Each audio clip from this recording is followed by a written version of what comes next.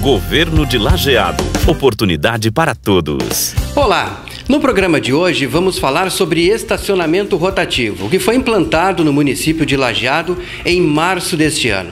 Quem vai nos passar essas informações é a gerente geral do Estacione Rotativo aqui em Lajeado, Melissa Motim. Melissa, a gente começa falando sobre o índice de inadimplência, que é muito pequeno, né? Então quer dizer que mais de 95% dos motoristas estão pagando o estacione.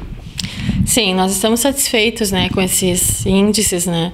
Uh, o que está bem mais uh, positivo do que no início das operações, porque nós tínhamos um índice bem, bem elevado, né? pessoas que estavam resistindo, que estavam testando o sistema, mas que uh, perceberam a importância do estacionamento e muitos aderiram ao crédito antecipado o que é muito bom, né, que se torna uh, bastante cômodo para o cliente usuário. Uh, para nós, o monitoramento também se torna mais interessante. Né. Uh, nós temos um índice de 95% em torno disso, de clientes usuários que estão pagando estacionamento de forma regular. Né. Existe um número pequeno, né, em torno de 300 usuários, 150 a 300 por dia, é variável esse número uh, de pessoas que realmente insistem em não pagar, né, sofrem irregularidade, uh, fazem um acerto aqui na empresa, a gente sempre incentiva a colocar o crédito antecipado, utilizar um ponto de venda.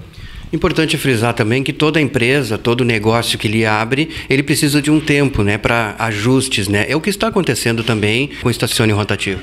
Sim, nós fizemos vários ajustes no decorrer, né? Um deles foi o número de, de monitores, tá? Hoje a gente tem um número até excedente, além do que o contratual, para suprir toda a necessidade em funções de faltas, atestados, né? Para que o cliente usuário não deixe de ser atendido. Tá, estamos nos adequando também, uh, implantamos uh, ah, 90 pontos de venda, né?